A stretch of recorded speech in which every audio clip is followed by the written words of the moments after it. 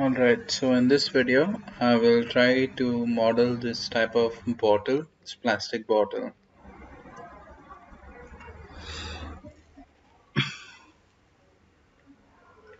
Alright, so I create a box and I give it 2000 mm, the length and the width, the height I'll adjust.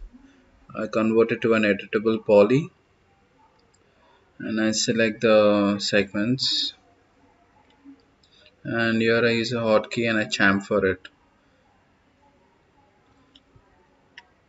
So right now this will trying to get a chamfered box kind of thing. So right now convert it to a clay model just for aesthetic sake. Here make a cylinder because the more the bottle it transfers from a chamfered box base to us to more of a top of a cylinder. So it, transfer, it uh, transforms in the middle around the middle area. So I'm trying to achieve that here. Here I add some segments to give the shape. So I expand in the top view by make and also in the front view just to see how the shape forms. And here I extrude the top part and add some segments again over here just to get the top part give it a bit more shape.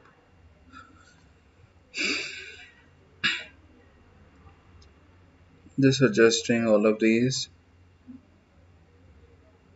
A bit more it's too deep it's, it's too big it's too long.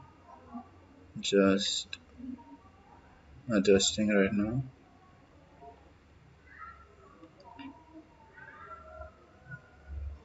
so yeah uh, now I delete the cylinder I don't need it anymore. So here I add one segment connecting it.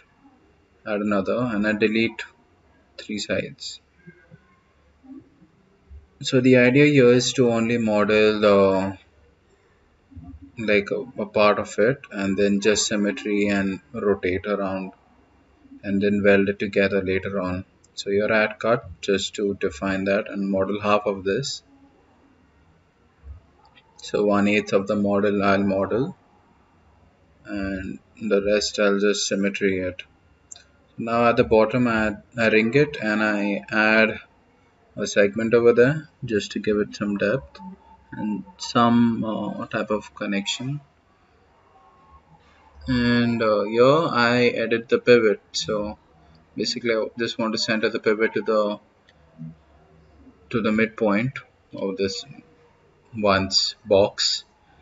Now I'll extrude rather intrude it I'll delete these uh, faces. Here I don't need them really. So basically I added the pivot in the middle just so that we can um, it's much more easier for the symmetry and the rotation later on. So right now I'm just uh, modeling a bit on the model just extruding some uh, vertices etc also note that I'm noticing how the segments next to the next to these vertices uh, are. So make sure it's a bit uh, bulging out at the bottom and towards the top it's uh, mostly flat along the segment. It doesn't bulge out and here I encounter I encounter a problem here where these segments on the top seem to have uh, gone into a wrong direction over here. So yeah I just adjust them over here. This is mostly by this visual I, I just eyeball it over here.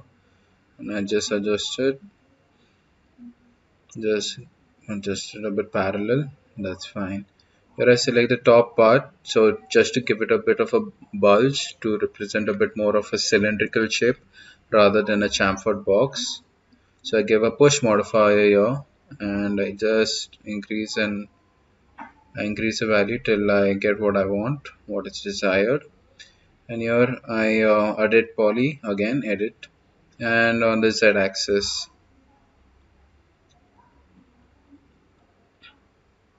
and here I just uh, adjust all of these vertices and looks good Now I'll uh, ring these edges and connect them at two segments. Just spread it out. Perfect. And here I'll also connect these just to give it a bit more control. Yeah, remove the top ones. I'll not need them even later on. No requirement. Including those uh, those isolated vertices. They normally tend to cause problems in models if you do not remove isolated vertices. Yeah, right now I just select the top part of these edges I deselect the bottom part and I just again give it a push modifier let's adjust it a bit more I see I'm trying to achieve that bulge and on the top part it actually goes inwards so I do not want that happening. So just push it out a bit makes it a bit more better. And you add turbo smooth modifier so it looks good. Just to check if there are any problems as such. Add a symmetry modifier mirror it and just flip it and you're attached so the weld is something that will weld the vertices together so you don't have double vertices and all these problems. Here when I add the turbo smooth modifier I'm encountering problems again because there are some extra vertices that have not been deleted or rather have just shown up. So now I'll just correct these. Try selecting it but for some reason they don't get selected. So I don't know if it's a glitch or something but yeah I'm having that problem. So I tried to target weld them but no no point. Didn't work out. So I again try it. I recheck and again I add a symmetry modifier and now I do it again. So it welds automatically perfect. And now there shouldn't be a problem. Yes.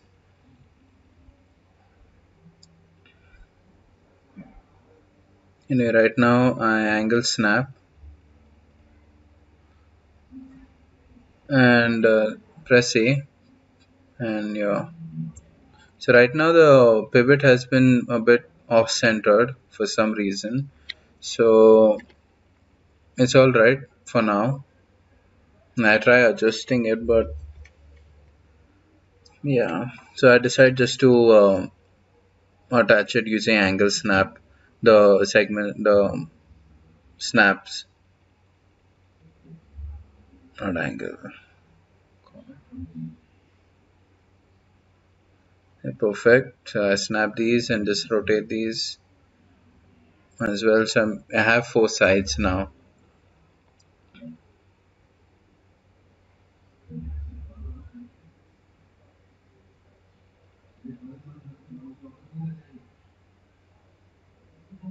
And I bring them all together.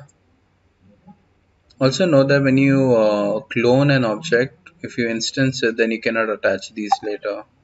Uh, well, that happens now because they are not welded. So eventually I'll weld these, select them and weld them. Give it a slight, slight increment and they're welded together. So there's no problem in that. And here I use a freeform selection just to select these diagonal vertices and weld them as well. Now also note when we weld them, if increase the value too much, unnecessary segments will, unnecessary unnecessary vertices will uh, also weld together, which you do not want them to weld. So always check that and make sure those ones don't weld. So now right now here these segments are there, so uh, these faces are there. I know that the there are some segment segments not connected to the midpoint of this face so right now I just select all of these and I delete them. I use a boundary selection and I cap. But the problem here is that when you cap so now if I if I uh, do this type and when I uh, insert keep inserting you'll notice that the segments tend to overlap and that will cause more problems for me later on while modeling. So right now what I tend to do is I reverse this thing and I just insert the whole thing and I just pull it up just like how the bottle is just modeling the bottom base of the bottle. And I ring these segments and connect them at some yeah add some controls and connect them and give that shape there's a bit at the base and then these vertices are on one level. So on the z axis they're flat on the z axis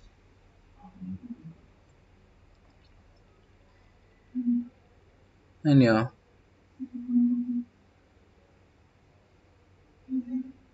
I bring this down and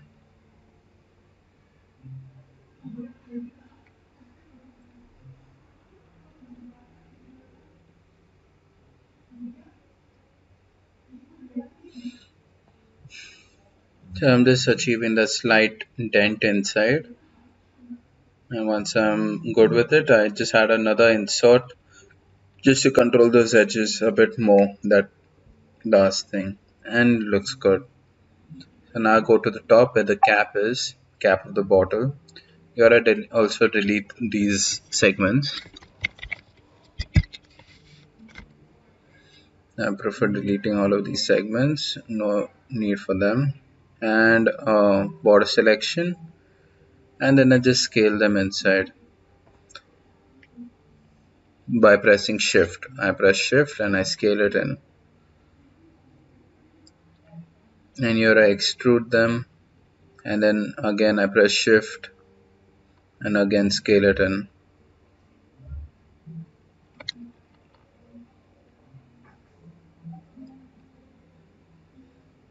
and just deciding the depth of the this height. And I, and I notice that the segments on the top are not in a line. And the vertices are not in one this so I again reset it on the z axis to make them all in one level. And now I redo it by using the same thing the shift and the scaling it inwards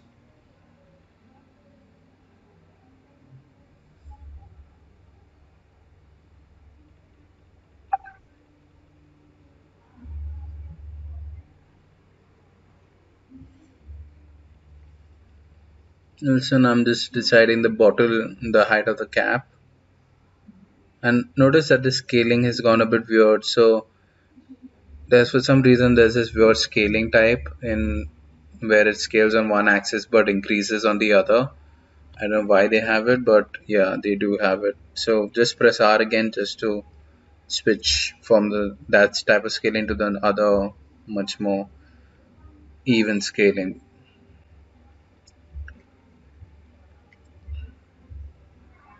Here I ring these and add two segments just to give a bit more control.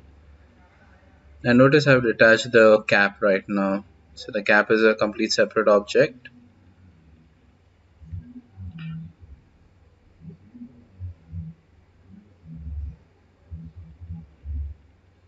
And you now select uh, two faces by pressing control. Control and select two faces and insert and you get the desired shape then ex extrude.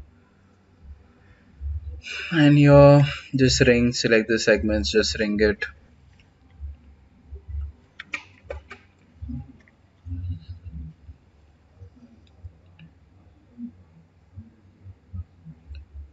Disconnect and yeah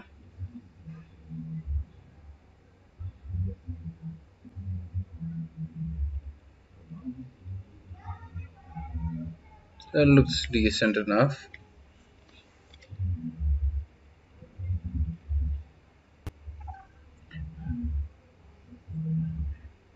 And so does this. Right now also looks pretty it, the that part looks pretty out so I just pull it in by using edge constraint on the faces. So you go to edit geometry and then you can select edge constraint. So it moves along the edges and make sure also that you don't have a edge constraint constantly selected otherwise it can mess up your geom geometry if you move around if you're moving faces around.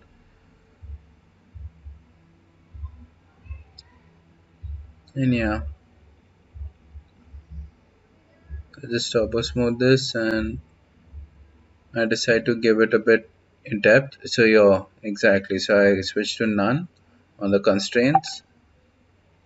So basically if I have the edge constraint on then it uh, just rotates uh, along the edges moves along the edges instead of moving on the z axis moving upwards.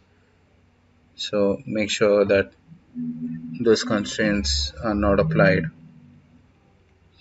And yes thank you